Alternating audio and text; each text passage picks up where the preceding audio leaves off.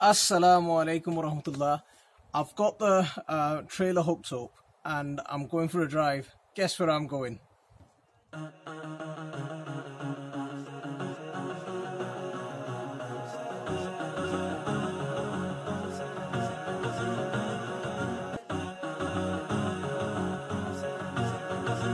Off on our little adventure again. I found a guy that provides bagged up manure free. All we have to do is go and turn up and pick it up.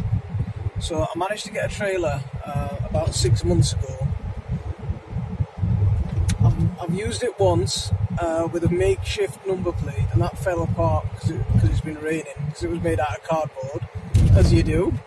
Um, and now, uh, six months later, I finally managed to get a number plate. Well, I finally got around to getting a number plate made.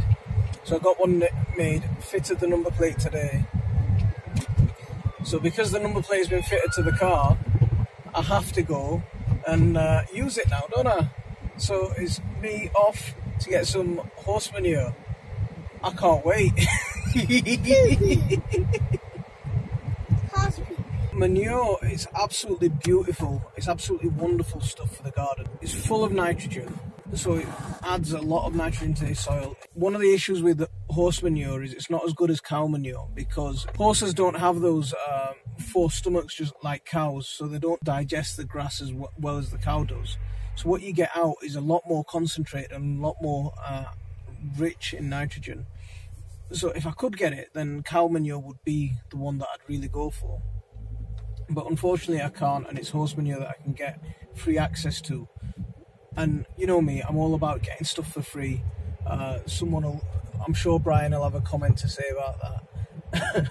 the thing that I really like horse manure or cow manure is that the effect that it has on the soil is it really adds that organic matter and that really adds that moisture holding capacity to, to soil. It really helps aerate the soil because the worms love it when you spread manure to, onto the soil, the worms absolutely love it. They drag it down into the earth, really incorporate it, and they'll do a lot of the digging for you. So that's another reason that I really like horse manure.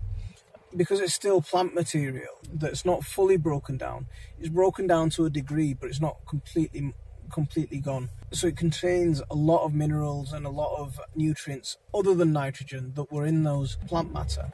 So that's another thing that really is beneficial about using horse manure you let horse manure rot for a couple of years, it'll turn into some really amazing compost. It'll it'll be absolutely amazing stuff. Because the horse manure that we're going to get now is going to be quite fresh, the things that you can use it for are a little bit more limited. Uh, applying it to your beds is fine as a mulch because over the course of winter, the winter will take a lot of that heat out of it. The rain will wash it through. Um, a lot of that nitrogen will get washed out, so your plants won't suffer as much from nitrogen burn.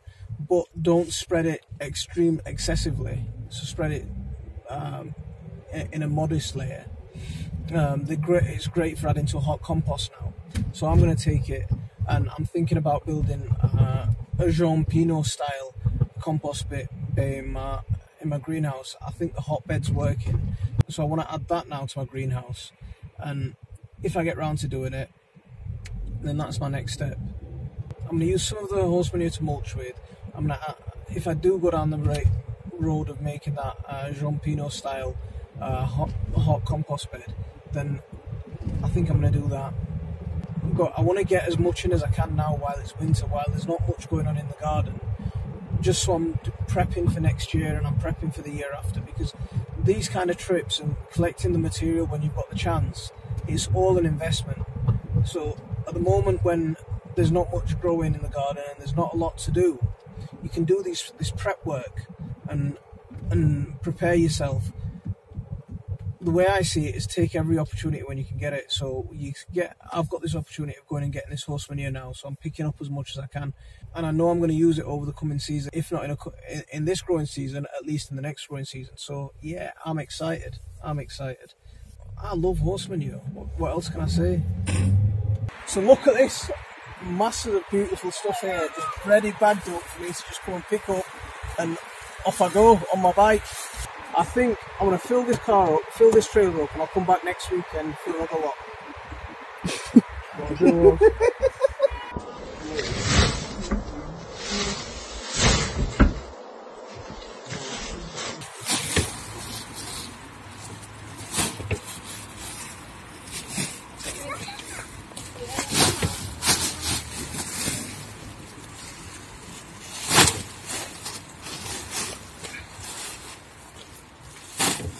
Do think that was on?